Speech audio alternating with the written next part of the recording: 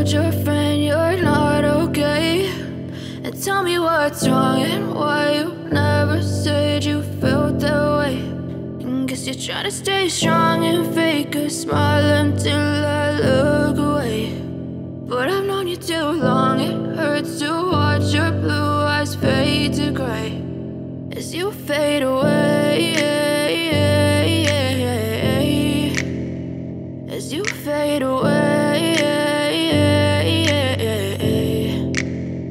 Yeah, I'm about to fade away Cause every time I wake up I feel like it's Monday Something's going wrong with all the chemicals ये घर है जोरो का Sudden I don't look at anything the डेढ़ किनाल की कोठी इसी के लिए पिस्ता बादाम काजू ये बड़े शौक से खाता है जोरो अपने बेड पे बिल्कुल लेट चुके हैं और हमें भी बता रहे हैं कि हाँ जी यही है मेरा बेडरूम जहाँ पे मैं शानो शौकत से सोऊं दो इसके बेडरूम है और एक सिटिंग रूम है इसका।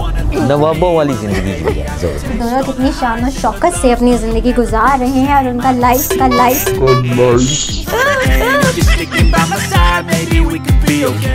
वालेकुम दस्तक टीवी के साथ मैं हूँ आपकी मेज़बान हफ्सा खालिद। आज मैं मौजूद हूँ एक ऐसे घर में जहाँ पे इंसान तो रहते ही रहते हैं पर ये घर है जोरो का। अब जोरो कौन है? ये देखें मेरे साथ आप देख सकते हैं एक छोटा सा छोटा सा तो नहीं है बड़ा सा डॉगी है जोरो लेकिन बहुत ही प्यारा है और बहुत ही फ्रेंडली है। अमूमन डॉगीज़ के साथ लोग डर जाते हैं लेकिन ज़ोरो को देखकर तो मुझे तो कहीं से भी डर नहीं लगा। और ज़ोरो इतने फ्रेंडली हैं कि मुझे तो इनसे बात करने का इनके साथ खेलने का बहुत ही मज़ा आया। आइए हम ज़ोरो के ट्रेनर से बात करते हैं और इनकी रूटीन उन्हीं से ही जानते हैं। अस्सलाम वालेकुम वालेकुम क्या नाम है आपका? मेरा नाम माजिद अच्छा हमें बताइएगा ज़ोरो के हवाले से। ज़ोरो की क्या रूटीन है क्या वो सुबह सुबह करते हैं किस तरह से उनके दिन का आगाज़ होता है? अब एक डॉगी हैं पूरे घर के मालिक हैं एक घर में रह रहे हैं तो ज़ाहिर है जिस तरह लोगों की रूटीन होती है उसी तरह इनकी भी तो कोई रूटीन होगी। देखिए जी इसकी कोई स्पेशल रूटीन तो नहीं है। हम्म, क्योंकि ये जानवर है इसका एक अपना शेड्यूल है। ये अपने शेड्यूल के हिसाब से उठता है बैठता है खेलता है ठीक है? बाकी इसके प्लान्स बने हुए हैं ये अपने प्लान्स के हिसाब से चलता है। प्लान के हिसाब से चलता है। तो ज़ोरो को भी जैसे लोग मॉर्निंग वॉक पे जाते हैं अपने पेट्स को लेकर जाते हैं ज़ोरो भी जाता है। जी मॉर्निंग वॉक में भी जाता है इवनिंग वॉक में भी जाता है। दो टाइम इसकी वॉक होती है half an hour half an hour मतलब हेल्दी एंड फिट जी।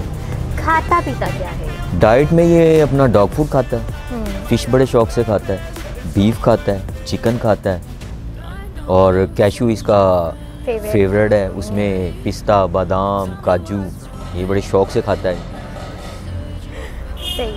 नवाबों वाली ज़िंदगी जी है आजकल के दौर में तो आपको पता है महँगाई आसमान छू रही है। जी जी। तो इनकी जो देखभाल का इंतज़ाम ये कोई महँगा नहीं हो जाता अफोर्ड इजीली हो जाता है। देखें जो ओनर है वो अफोर्ड कर सकते हैं तो उन्होंने वो सारा कुछ किया। अब देखें ये अप्रॉक्सीमेटली खर्चा है जोरो का? डेढ़ किनाल की कोठी इसी के लिए है।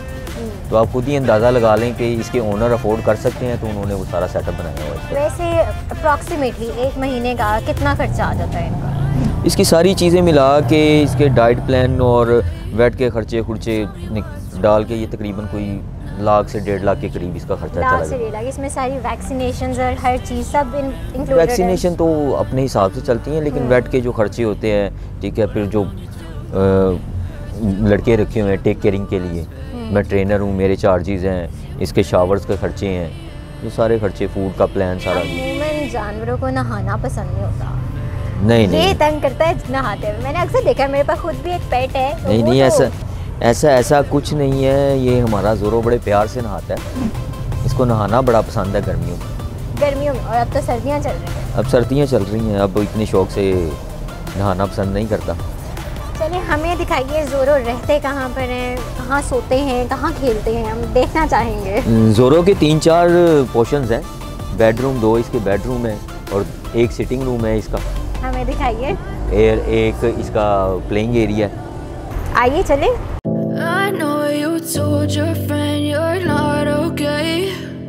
tell me what's wrong and why you never हाँ जी तो ये है जोरो का सिटिंग एरिया जी ये ज़ोरो का सिटिंग एरिया है। यहाँ पे क्या इंतज़ाम आपने किए हैं हमें बताइए। यहाँ पे इंतज़ाम ये हैं कि ये फ़ैन लगा है। हम्म, ये एसी लगा है इन्वर्टर गर्मियों में जब हल्की गर्मी होती है तब इसके लिए फ़ैन चलता है। जब गर्मी ज़्यादा बढ़ जाती है फिर एसी चलता है। और सर्दियों में हीटर चलता है। अच्छा जिस तरह इंसान कम्युनिकेट करते हैं जानवरों का भी कम्युनिकेट करने का एक तरीका होता है। जब उन्हें बहुत गर्मी लगे या सर्दी लगे तो वो बताने की कोशिश करते हैं। तो जोरों के भी कोई ऐसे होते हैं एक्सप्रेशन जिससे आपको पता चल जाता है कि ये क्या चाह रहा है इस वक्त? अच्छा इसका और डॉग्स के अपने अपने अ, होते हैं प्लान्स ठीक है? वो अपने लिए ठंडी जगह खुद ही ढूंढते हैं। लेकिन हमारा जोरो इतना समझदार है कि ये जब इसको गर्मी लगती है ना तो ये इस तरफ़ इस कमरे की तरफ़ आ जाता है। अच्छा ये तो बेडरूम है का। ये बेडरूम है वो अपने एसी वाले कमरे में आ जाता है कि मुझे गर्मी लग रही है मुझे एसी चला के दिया जाए। चलिए, चले मैं अब आपको इसका बेडरूम दिखाता हूँ।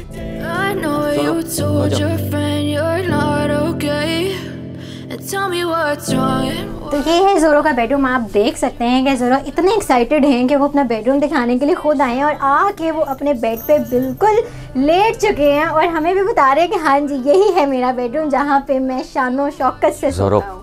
आप देख सकते हैं यहाँ तो- पे कितनी सारी बॉल्स हैं जोरो के खेलने के लिए। हर साइज़ की बॉल यहाँ पे मौजूद है। फुटबॉल है प्लास्टिक की बॉल्स हैं जिनसे जोरो बड़े मज़े से खेलते हैं और इस तरफ़ भी काफ़ी सारे बॉल्स और बैलून्स पड़े हुए हैं।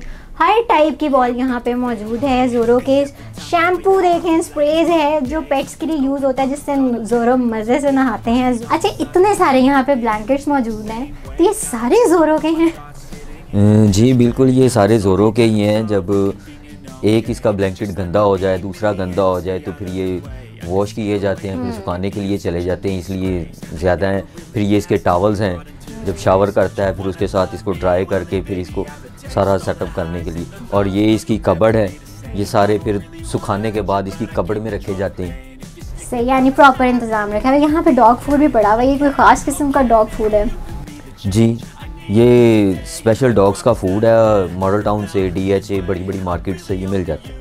मिल जाता है। तो नाजरीन, ये देखा आपने कि ज़ोरो अपनी ज़िंदगी कितने शान व शौकत से गुजार रहे हैं और किस तरह से अपनी रोज़मर्रा की ज़िंदगी में वो किस तरह नहाते हैं, किस तरह बॉल्स के साथ खेलते हैं और अपनी लाइफ एक फ्रेंडली तरीके से, अच्छे तरीके से गुजार रहे हैं। मैं उम्मीद करती हूँ आपको हमारी आज की वीडियो पसंद आई होगी और ज़ोरों से हमारी दोस्ती भी अच्छी लगी होगी। मज़ीद वीडियोज़ के लिए देखते रहिए दस्तक टीवी।